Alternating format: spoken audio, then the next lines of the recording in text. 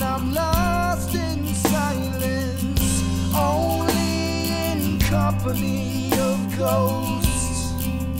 And your face is no